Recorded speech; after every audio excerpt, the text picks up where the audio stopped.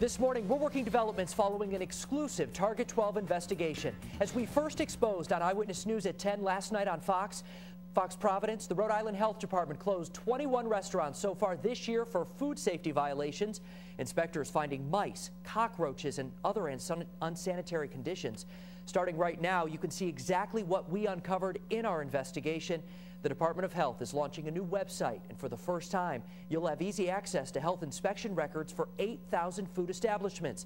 To check it out, go to our website, WPRI.com, and click on Restaurant Reports. And be sure to stay tuned to Eyewitness News. Tonight at 5.30, we'll take an in-depth look at the changes and how they'll affect your next dining experience.